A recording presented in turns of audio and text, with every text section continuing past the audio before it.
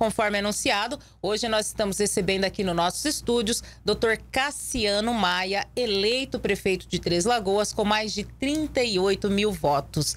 Doutor, primeiro eu quero agradecer por o senhor ter aceito o nosso convite para estar aqui nesta manhã. Durante a campanha eleitoral, durante a nossa rodada de entrevistas, eu fiz um convite para o senhor que, se o senhor fosse eleito, o senhor estaria aqui na segunda-feira. E, de fato, o senhor está cumprindo né, com a gente, com o que ficou acordado. Então, eu quero agradecer. Muito obrigada, seja muito bem-vindo e parabéns pela eleição. Ana, bom dia, bom dia, Totó, bom dia a todos que nos acompanham pela RCN. Olha, que satisfação cumprir esse, esse pedido seu, viu? Estou muito feliz de estar aqui hoje, né? no dia seguinte às eleições aqui em Três Lagoas, é, eleito prefeito. E é um sentimento de muita felicidade, de muita paz interna, que realmente a gente vem exercendo. Hoje, ao acordar pela manhã, um sentimento assim de a gente conseguiu, mas que realmente de muita responsabilidade vindo por aí, né? E que a gente tem que cumprir com seriedade. E o primeiro compromisso contigo é realmente é, a gente precisa cumprir os compromissos e eu estou muito feliz para a gente bater esse papo agora com a população translagoense. Está mais tranquilo hoje, doutor? Mais aliviado? Mais tranquilo, né? Claro que foram 60 dias, né? Praticamente, 45 dias de campanha efetiva, onde segunda-feira é igual domingo, terça é igual sábado, manhã é igual de tarde, é cumprindo agendas a cada 30 minutos, a cada uma hora, visitando casas, visitando setores, visitando comércio, conversando com as pessoas, né? Tentando entender a dor de cada um, o problema de cada um, problema macro de uma cidade, para que você possa, durante a campanha, construir até o teu projeto de governo, né? Então foi muito importante e eu tenho certeza que a gente vai conseguir fazer um belo trabalho. O senhor tinha confiança, acreditava na sua reeleição ou teve algum momento na, na sua eleição ou teve algum momento que o senhor falou não, acho que vai ser difícil, eu estou inseguro? Não, eu, a gente acreditava, a gente também, eu sempre é, me pautei em pesquisas, me pautei no, no entendimento técnico, né, de uma campanha. Então a gente não estava assim de forma sem nenhuma sustentação acompanhando tudo isso. E a gente vinha acompanhando as pesquisas, vinha monitorando, né? Então a gente tinha uma certa tranquilidade de eleição e a seriedade que temos que ter durante o processo eleitoral, porque realmente, por mais que você tenha essa tranquilidade, que você venha acompanhando, a gente sabe também que a política, quando ela é mal conduzida, quando você tem algum obstáculo, ela pode se, se transformar em 180 graus da noite para o dia. Então a gente teve essa seriedade de conduzir todo o processo, dia a dia, até o dia 6 de outubro. Mas a gente tinha aí um acompanhamento técnico que nos dava muita segurança. Doutor, o que, que foi mais difícil para o senhor durante a campanha? Porque a gente sabe que, para começar, o senhor teve que lutar para ser o candidato do partido. E, uh, inicialmente seria o candidato, mas o senhor precisou buscar o apoio, inclusive, das lideranças estaduais do PSDB, é, para emplacar a sua candidatura para ser o nome do partido e conseguiu esse apoio das principais lideranças é, do nosso estado. E durante a campanha a gente viu também na Câmara Municipal muitos ataques. E o senhor sempre com aquela serenidade, toda a sessão, ataque daqui, ataque dali, mas nunca perdeu essa postura que eu acho que é um dos grandes privilégios que o senhor tem, manter essa calma, essa serenidade. O que, foi mais difícil durante esse decorrer todo da sua campanha? Olha, Ana, eu, eu me propus a ter um entendimento do que vinha ocorrendo. Então a gente observava os ataques e eu precisava ter até uma demonstração se a gente estava no caminho certo ou não. Então ali eu resolvi como meta de entendimento de todo esse processo não entrar no contraponto, não entrar no, em choque com essas, com essas pessoas, para que a gente pudesse realmente ter o entendimento é, de forma natural da população translagoense. Então a gente deixa eles se manifestarem, deixa a população ter o entendimento da manifestação e que eu possa ver isso nas urnas, para que a gente consiga ter o entendimento, às vezes até se a gente ter uma autocrítica, ele fala, não, olha, estão nos apontando que precisamos mudar de lado, mudar alguma coisa. Mas esse era, era o meu sentimento de poder conduzir todo esse processo. Então eu agi de uma forma serena, ouvindo os ataques para poder entender o que a população iria nos transmitir no dia 6 de outubro. E eu estou convicto que a gente está no caminho certo, é o caminho da seriedade, da responsabilidade com as palavras, da responsabilidade do dia a dia para a gente poder conduzir uma Câmara Municipal. Não é tão simples. São 17 representações, agora serão 15, mas são 17 representações que norteiam toda uma cidade, vários setores, e a gente precisa ter o cuidado com cada um para que todos se sintam é, capazes de representar a população. Então, nesse contexto, assim, a gente hoje tem a certeza que estavam no caminho certo. E qual que foi o fator principal para a sua vitória, o senhor acredita? Eu acredito que estar junto com a gestão do prefeito Ângelo Guerreiro, né, uma gestão que vem entregando obras, que vem entregando trabalho, vem demonstrando uma seriedade. Isso aí mostrou muita confiança à população translagoense, que realmente já se encontra muito madura. A maturidade da população translagoense no meu caminhar foi muito grande. Deu para perceber isso, que até é, do mais simples ao mais entendido, todos tinham um, um mesmo entendimento do que, que Três Lagoas estava precisando. Então, isso aí foi nos dando muita força. E tenho certeza que foi isso que ajudou muito a nossa campanha. Bom, o senhor teve, obteve mais de 38 mil votos, que foi o prefeito mais votado na história de Três Lagoas, né? Uma votação muito expressiva mesmo. E a partir de agora, doutor, como que vai ser? O senhor já começa a fazer um processo de transição na Câmara, já começa a conversar, enfim, com os secretários? Vai ser feito todo um levantamento do executivo? Como que será daqui para frente? Não há dúvida que a gente precisa aí no diálogo ser a nossa principal ferramenta. A gente agora precisa reorganizar, reorganizar a casa, reorganizar os companheiros, reorganizar todo esse processo eleitoral. É, fica feridas, fica pessoas que se entristecem. Nós temos que acalentar todos. Nós temos que colocar esse processo agora de transição, um processo onde todos possam estar satisfeitos em me ajudar. É, é, eu não vou conseguir fazer um governo sozinho preciso do governo do estado, preciso é, entender a Câmara Municipal para que a Câmara Municipal esteja com a gente. Os candidatos que não tiveram a eleição, mas que foram bem votados, né? A gente tem que dar atenção a todos eles. Eles também, de certa forma, são representações importantes no nosso município. Eu acho que é, é montar um clima de entendimento, né? Que nós queremos o nosso partido que seja realmente por Três Lagoas, para que a gente consiga aí fazer uma administração coerente, séria e uma administração que realmente entregue para a população. Pelo que a gente viu aqui, pelos eleitos e reeleitos, o senhor deve fazer um, um governo tranquilo, sem tanta oposição no legislativo de Três Lagoas, diferente do que a gente tem visto atualmente, né? E o senhor pretende interferir, inclusive, na escolha do presidente da Câmara Municipal ou não? O senhor pretende é, dar alguma indicação, enfim? Eu acredito que a, a independência no interna corporis é fundamental para que a gente consiga é, deixar com que a Câmara Municipal seja independente e que ela tenha um entendimento próprio dela para que ela possa estar junto com, com, com, o Executivo. Então, nessa situação, vamos deixar os vereadores é, ter os seus próprios entendimentos, eles fazerem as, as suas próprias é, recolocações, principalmente na montagem da mesa diretora, para que a gente consiga ter um bom caminhar, um bom andamento com cada um dos 15 vereadores.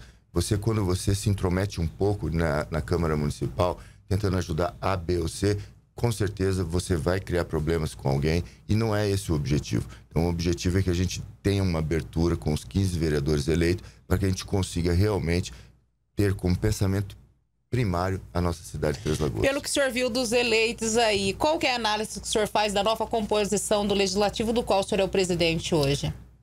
É, não há dúvida, né? Foram sete reeleitos, oito é, que estão aí voltando à Câmara Municipal, mas dos oito, é, acho que nenhum Na verdade, era... oito novatos oito e novatos, sete reeleitos, né? é. E sete reeleitos. Então, você teve uma renovação grande da Câmara Municipal e isso é importante.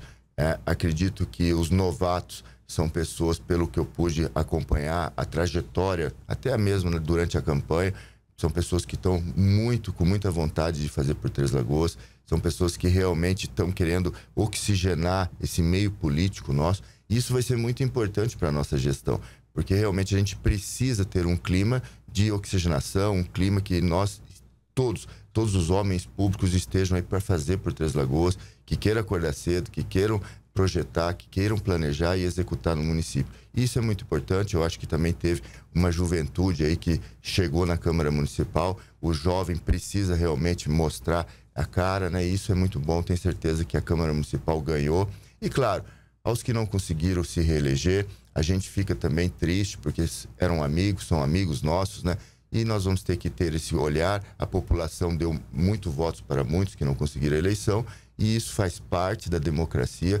Acho que agora é hora de a gente acalentar os que perderam, comemorar com os que ganharam, mas retomar o processo para que Três Lagoas continue caminhando. Segundo o Fernando Jurado, pelo que a gente ouviu na entrevista, o senhor será um dos melhores prefeitos de Três Lagoas. Dá para a gente afirmar isso? Olha, sem dúvida, a vontade é muito grande. Tomara que a gente realmente consiga muito. O esforço, a dedicação vai ser ímpar, vai ser como estar aqui hoje, né? Depois de tanta comemoração e estar tá aqui no teu programa. Então, não há dúvida, o Fernando é um grande amigo, um amigo de longa data, que estivemos juntos trabalhando. Estou muito feliz pela eleição do Fernando Jurado. Tenho certeza que ele também vai ser um grande vereador, porque ele é uma pessoa que realmente busca o melhor, ele busca ter esses entendimentos e tenho certeza que Três Lagoas ganhou com a eleição do Fernando Jurado. Doutor, assim que o senhor assumir a prefeitura de Três Lagoas, qual será a sua primeira meta? Eu preciso muito reorganizar a saúde do município. A saúde do município vem bem. Se a gente for comparar a saúde com todos os, é, com todos os municípios que temos para comparar, a gente tem um entendimento que a saúde de Três Lagoas está bem, mas claro que há uma, uma preocupação da população treslagoense em diminuir as filas, em diminuir o tempo de espera para que seja atendido, ter acesso a exames, ter acesso a, a procedimentos eletivos. Nós precisamos é, reentender toda essa dinâmica para que a gente consiga reorganizar, otimizar, talvez é ter um entendimento mais moderno de algumas situações que possam estar auxiliando para que a gente consiga melhorar a saúde e deixar a população de uma forma mais contente, mais satisfeita nesse quesito. Os demais, a gente propôs uma continuidade da gestão. Acredito que a gestão vem é, sendo uma gestão é, de impacto importante no município. Então, nós vamos manter esse processo de continuidade e num terceiro ponto, eu acredito que a gente precisa ter um olhar cuidadoso com o servidor público e através do plano de cargos e carreiras, onde a gente vai se empenhar para a gente consiga construir, finalizar esse plano e entregar aos nossos servidores, que isso é muito importante. A gente precisa ter um servidor público satisfeito para que ele consiga me ajudar na gestão. Então, isso foi um compromisso que eu tive com todos os servidores e acredito que agora, findado o processo eleitoral, todos vão estar comigo para que eu possa realmente, nós, o prefeito, e o servidor juntos construir esse plano para que todos consigamos fazer o melhor trabalho por Três Lagoas. E no, no último pilar, para a gente finalizar esse, esse, início de gestão, a gente tem que finalizar o, o nosso plano diretor, que realmente vai dar aí a sustentabilidade, a segurança do crescimento da nossa cidade, para que num todo a gente consiga aí fazer o final da gestão. Quando o senhor fala dar continuidade em algumas situações, seria manter os secretários ou o senhor vai trocar os secretários? Não, os secretários a gente não é todos, né? Claro, a gente está agora vamos iniciar um processo de conversa com cada um. A gente precisava ter esse período eleitoral. A gente entendeu e propôs da continuidade e os secretários municipais como a, a gente já observa, observa, né, uma gestão que, que tem uma aprovação grande, que a gente quer dar continuidade, então muito provavelmente a maioria dos secretários vão estar dando continuidade. Mas claro, tem, temos algumas peças que a gente precisa mudar, até mesmo para dar um pouco da nossa cara em, em, em situações que a gente acha que pode melhorar, mas não é porque nós vamos trocar os secretários, que o secretário atual é, vai ficar desamparado, que a gente não vai conseguir também recolocá-lo, reposicioná-lo de alguma forma que ele esteja satisfeito, para que ele possa também contribuir muito com a nossa gestão. O senhor já tem algum nome, algum novato, alguma pessoa que o senhor fala, olha, esse eu quero em determinada pasta porque vai me ajudar? Não tenho. Infelizmente, assim. O senhor não é, definiu nada? Não defini não, nada. nada. Eu estava focado realmente na, na campanha política e eu queria realmente, nesse momento de transição agora, realmente sentar e tentar ter um entendimento estratégico de planejamento com calma, tentar mapear toda a gestão, né? E tenho certeza que vou é, ter esse processo de transição de forma muito aberta para que eu possa ter o entendimento e começar no dia 1 de janeiro com força total. Senhor começa agora, então, pensar, montar a sua equipe já? Sem dúvida, eu já estou pensando e é assim que tem que ser. Eu estou muito satisfeito, feliz, é isso me dá muita energia. Então, é uma coisa assim que realmente está me deixando muito feliz poder já iniciar todo esse processo. Então, é com muita vontade eu tenho certeza, com muito carinho, muita dedicação, que eu vou conseguir formar uma boa equipe. O prefeito Ângelo Guerreiro será reaproveitado em sua gestão de alguma maneira? Ele vai continuar fazendo parte da sua gestão ou não? Agora, a partir de agora, Cassiano para um lado e Guerreiro para o outro? Não. prefeito Ângelo Guerreiro é um amigo, né? Uma pessoa que me ajudou muito. É, se hoje estou eleito prefeito de Três Lagoas, não há dúvida que o prefeito Ângelo Guerreiro me ajudou, colaborou, me ajudou na campanha, mas me ajudou em todo esse processo de homem público que eu estou há sete anos e meio, iniciando lá com ele nas secretarias e depois ele me ajudando durante a, a vereança na Câmara Municipal. O prefeito, claro, é, ele vai estar me ajudando de forma é, ímpar, né, do jeito dele, que ele tem o, o, seu jeito peculiar. Tenho certeza que ele tem grandes projetos, né, e a gente precisa também ajudá-lo, respeitá-lo e vamos conduzindo esse processo. Mas, claro, é, as, as, individualidades de gestão vão acontecer, isso é natural, ele também sabe disso e isso é normal. E tenho certeza que nós fazemos parte do mesmo grupo político, né? E, e de certa forma, do, da mesma forma que ele me ajudou muito nesse processo, eu também vou tentar contribuir muito nos projetos dele político para que a gente consiga ter representações a nível estadual, principalmente do nosso município, que é muito importante para nós aqui na gestão. Uhum. A vice Vera Helena terá alguma ocupação além do cargo de vice?